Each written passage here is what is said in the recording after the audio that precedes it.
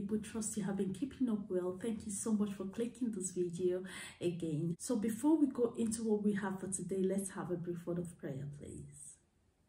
Lord, we thank you for today. We thank you for gathering every one of us. Lord in heaven, thank you for the subject of relationship. Lord, we ask you teach us what you expect us to know on the subject and beyond teaching us, raise generations to your glory. In Jesus' name we pray. Amen.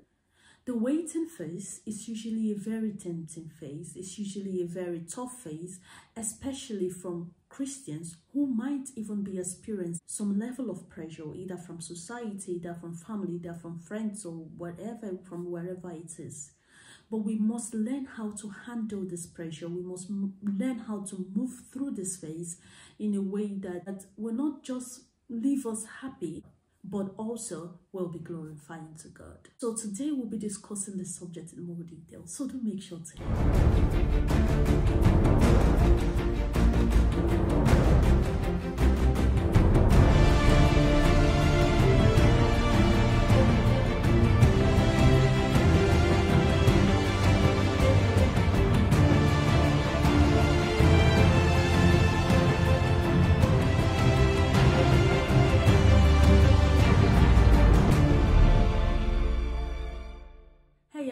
welcome to Relationship Talk with Godiva. Today we're going to be going over waiting for marriage. Waiting for marriage. Do make sure to watch until the end so you could get the most out of this video.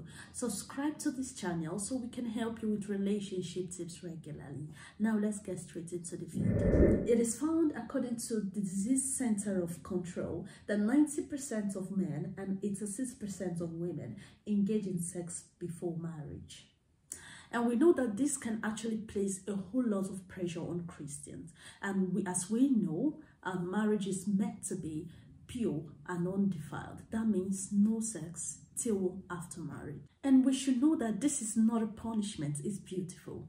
This is absolutely beautiful because the single phase and the courting or dating phase is a period where you get to know each other. It's a period where you get to find out important things and have deeper conversation and make plans towards the marriage it's not a time where you get blinded by sex. It's not a time where you you you have a sex with this person and all you think about is sex about this other person. You don't focus on the real matter and discussing the real important matters that need to be trashed out or agreed upon or whatever it is that need to be paid attention to before the real marriage.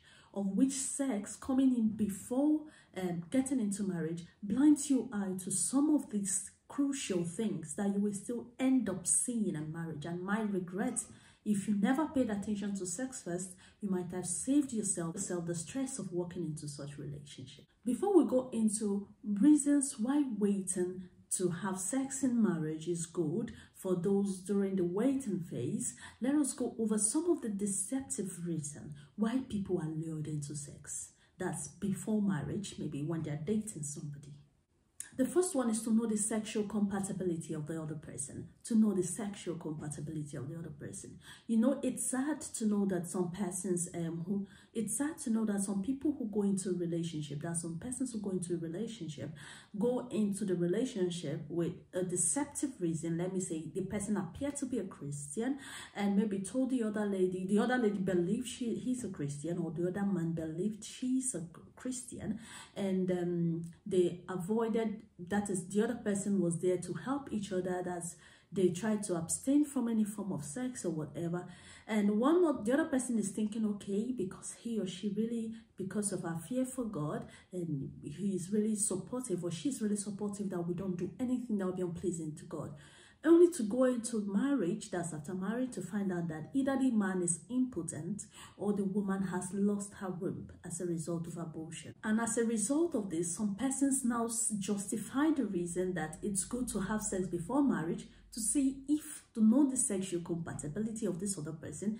and to be sure if this other person is healthy or she will need to take or she will need to take and be pregnant before marriage so that I'll be sure she's capable of conceiving that she has not lost her womb as a result of any carelessness of anything that I don't know about. So this fear has made young Christians feel it is justifiable, especially if you have both agreed to get married, that you are in a dating or courting phase, close to marriage, to have sex before marriage. Highest, maybe before the pregnancy comes out so much, you people can just get married. If you are a true Christian, you're a child of God, don't allow this to derail you. Don't allow this make you lose your place in God and believe the lie and go into fornication or immorality and build the foundation of your home with that kind with that kind of stuff because you need God in the relationship. You need God. You need God. So don't start a foundation. Don't start something that's don't don't build your home on a soil foundation. Any great building, any beautiful building needs a solid foundation. No matter how no matter how beautiful or how gigantic a home is or if, if a building is if the foundation of that home is soiled that home that building is, is just complete nonsense because it will just collapse and lives will be at risk so this foundation time your relationship during that courting phase during that dating phase is the phase that is very crucial. It's a phase that's very, very delicate. It forms the, the foundation on which that home will build throughout the years. So don't fall prey to all these lies. But some other persons even believe beyond compatibility or beyond um, all this um, finding out if the other person is okay or that about the person is not pretending or covering anything. It will help you enjoy yourself that enjoy yourself um, so that when you get into the home you'll be settled. What a lie from a pit of hell. One lady once advised me when i was younger telling me um, um it will be good to go into some relationship um, to to have um relationship with other guys so that uh, when you get married you'll be settled. How does this how does this match up by God's grace, you've kept yourself in a relationship and you go into the relationship, you will now not be settled. How? Now, when you go into, you've been jumping up and down and you'll be going into different relationship, it even puts you at a risk because when you finally settle with that person tomorrow, you will be longing for that hide and seek that you were having then that's no longer now. And that's what is leading so many people into idolatry because they are not having that hide and that feeling that's that feeling of hide and seek they were once having they're not having it with their partner anymore because this is someone they're living with. So they long for that feeling and that pushes them outside and that is that is completely devastating. So this is a very big lie that you in fact keeping yourself before marriage even helps you to be more content and happy in your relationship. And it also makes you, you know that you can't see any man tomorrow I say I slept with this man or I had sex with this lady or this lady. It saves you from all those kind of stuff, right? So, but even though you have been in those kind of condition, thank God you're learning this today. It's not for, it's not, the aim of this learning is not to condemn you, but it's to know that you step out from that path and embrace doing it God's own way. Okay, it's not in any way to um, to condemn you. And if you're already a Christian and you're you've gotten married to somebody who you both started foundation wrongly, just trust God. God is going to have mercy on you, but trust God and make sure that you know that you're genuinely transformed and you will teach the younger persons the way of the path of truth and not the other deceptive path okay? God knows exactly what's best for you. He knows exactly what's best for you. So following his guidance of relationship following his paths of everything in life will only end up giving you peace of mind and happiness at the end. It's for your own good. It's not for his own good. It's for your own. His love is just for your benefit you're you're giving him you, there is nothing he needs from you you he calling you to come to himself is for your own benefit. So it's important you accept to do it god's own way. Why? For your own good. Because if you love yourself you want the best for yourself. And hence you know who has the best for you. You work with his own guidance and you will be happy at the end. Okay? The next belief the next lie is cohabitation helps you understand yourselves better you don't need to live with the other person. You don't need to live together with him or her for you to understand the other person. In fact, even in marriage, you've stayed with this person for 20 years. you've not still understood this person all. It's a continuous learning. Please don't be deceived. The understanding of the other person you need before marriage, you don't need cohabitation to have the understanding of that. And don't believe cohabitation is there to help you understand the other person. Hope that's before marriage. Because even the cohabitation, even any number of time you stay with this person, it's not enough to know that person if you are really in the wrong hand. Yeah. So it only lead you to doing things so that are not godly, that will even blind your eyes the more to pay attention to the attention to necessary attributes that you should have to save yourself the stress in the relationship. So run away from cohabitation. Cohabitation, it's not good. Cohabitation will not, it's not truthful that it's the, it's gonna help you get the necessary understanding. If it was the best option, God will, will have permitted it. He will have permitted it because all he chooses for you is the best. Remember, he said marriage is honorable in all with the bed undefiled. So prevents cohabitation. So say no to cohabitation before marriage. Why? Because you want to have the clear mind to see all that you need to see, to converse all that is necessary to be conversed, to know if yes, you're going ahead, to pray to God, go over praying over and over with God, praying, listening to God. Are you still saying I should go ahead? Are you still saying I should continue? This is foundation. This is necessary things you need at that stage before you go into the marriage. So don't be blinded with, don't go into cohabitation. Just keep you away from praying to God. It will keep you away from seeing necessary things that need to be seen and call it what it is and go back to God in prayer if He's the one guiding you to the relationship or run away from the relationship if you were the one that just walked into the relationship okay? So cohabitation is doing you more harm and no good. It doesn't matter how it appears to be beautiful. It doesn't matter how it appears to be acceptable in the society. If you are a christian you are a child of god that knows you prefer the best for yourself. You prefer a home that is happy a home that is peaceful. Please it doesn't matter what the crowd is saying. Stand out and desire what is best for you. And what is best for you is God's own way. It's God's own guidance and directive, which is saying no to cohabitation, saying no to immorality before marriage. The next one is I will ask God for forgiveness. I will ask God for forgiveness. You know, it's saddening when you intentionally go into a wrong thing with the mindset of I will ask God for forgiveness. It's hurting.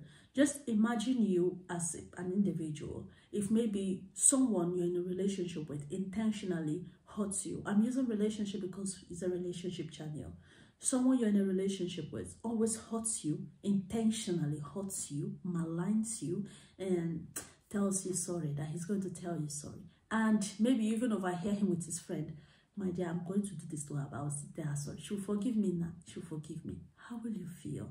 This is the same way God is saying, shall we continue in sin that grace may abound? That you love this person, you of course you forgive. But does it now mean this person should intentionally hurt you and because he knows you'll forgive? That is taking you, your grace, your forgiveness, your love for granted.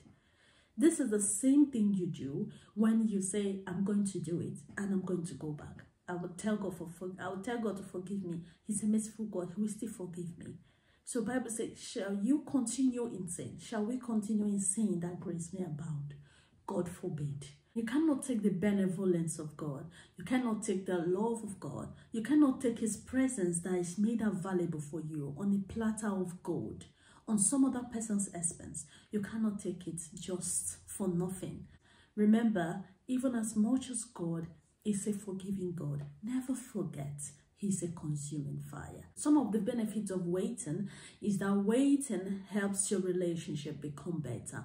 Just like I earlier mentioned, when you don't have sex in before marriage, that during courting, it helps you have a clear eyes to pay attention to things and see things and know that is this who you want to go on to relationship with. And if you're sure, okay, this is God directing you to the person and you notice this red flag, it will help you call things for what they are and go back to God for if he's the one that's if he's the one and for him and iron anything out so this will help the relationship improve and in turn will help you make better and best decisions that will be happy and that will, that will make the relationship a happy one and give it the lasting pace on the long run. The next one is it helps the long lasting of the relationship. It has it helps the long lasting of the relationship. Into research, according to studies, couples who wait that's before marriage have the long lasting relationships. They have the long lasting, long lasting marriages and have less chance of experiencing divorce. So waiting before marriage solidifies the foundation. And as a Christian, you know that divorce is not part of the option for you. So that is even why you know you need to pay attention very well and do it God's own way so that you will be happy okay? So waiting will help you have a long-lasting relationship because it forms a solid foundation where you find out things and make better decisions and go back to god. Pray know that you're on the right track because you're always communicating with god. It forms a very strong foundation that will help you run during your relationship one is self-discipline is a is a is a great christian virtue.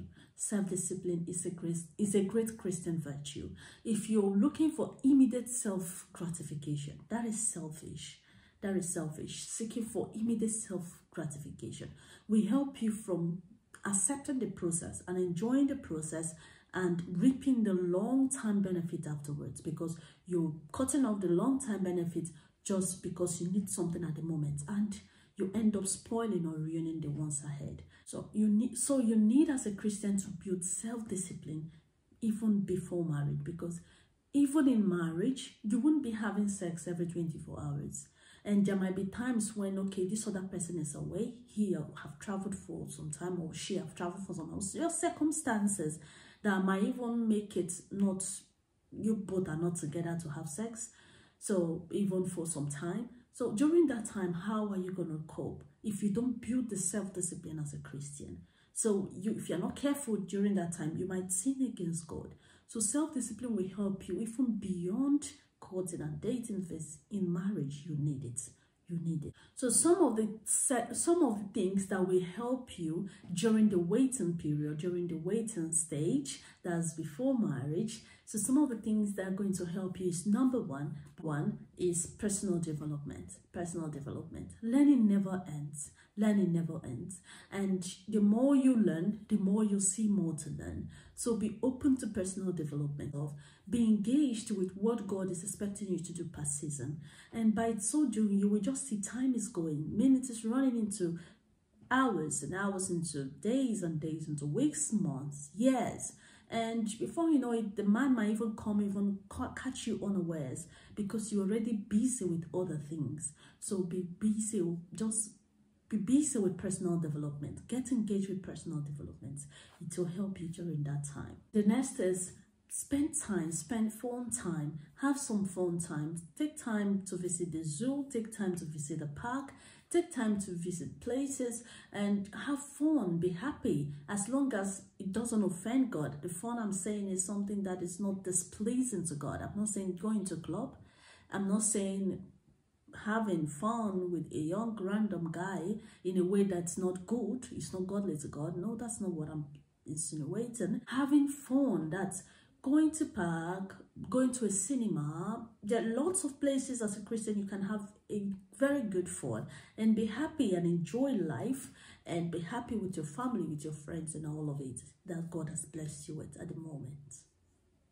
The next one is build strong relationship with God when you build, there is no relationship that is as beautiful as the relationship you have with God. I'm telling you the truth because any other relationship can disappoint you, but He's the only relationship that cannot disappoint you. It's impossible. They said it's immutable for God to lie. It's not possible for God to disappoint. So it's something that you build a relationship with God. You keep, you know, God is is is is like a, a sea it's like, uh, how do I describe it? it? It's you. You know, God is insatiable. You can't know Him all. You can. The more you get to know Him in Him, the more you go deeper. The more you go deeper. So build your relationship with God and you will be happy you did. His relationship is superb, is beautiful. It will keep you engaged actually. In fact, at some point you might not even be interested in relationship because you might be carried away with your own relationship with God, with personal development and all of that. And boom god will be like this is the time i need my young i need this my daughter or i need this my son to get into a relationship. He will bring the person your path or show him to you or show her to you and be like oh wow I, uh, okay let me go on with it because i was just not even focused in this area. It's always it always happens that way. So when you get to get focus with personal development, fun time necessary with friends and family, and development with God, you will just notice you won't even be conscious of all the time you're paying attention to. So, in summary, the waiting time is a very crucial time. It's also a time filled with pressure. But as a Christian, you must ensure never to allow any pressure, never to allow anything lure you into a wrong relationship. That is, into a relationship where you will not be happy with. You will know that I shouldn't have been in this relationship after in the relationship. So it's a time when you're very careful, you develop yourself, you pay attention to detail because this is a time where you are as free, you're as free as the air to also make a choice with someone you know you enjoy that freedom with and you'll be happier even with. So it's something that you need to pay attention to. But if you don't pay attention to this and use that free time carelessly, you will end up with someone that you you'll be like in a cave. You'll just be like suffocating or what is this? Hell on earth. So it's a time when you pay crucial attention to. It's a beautiful time. Time where you you develop yourself, you explore things, you just do things that will help you determine if you do it even better or determine if you deteriorate because it depends on who you finally say I do to. Whether you get better and keep improving even best on what you have already started as a single or whether you even deteriorate. So it's up to you. So make very good use of your single time and ultimately with God. With God. So I trust you've got a ton of value from this video and I hope you found it very interesting. Don't forget, I'm a trained therapist. In case you have any relationship concerns and you would love to reach out, I would, I would love to help. You can get in touch by filling in the form using the link that will be dropped in the description box below, or you can book an appointment with us by visiting godivascounsellinghome.com. I really hope you find the love and peace you so desire in your future current relationship or home. Do subscribe to this channel and turn on the notification bell so you don't miss out on more videos of relationship talk. Check out this other video on what to do when God sends you the one and I will see you in the next video.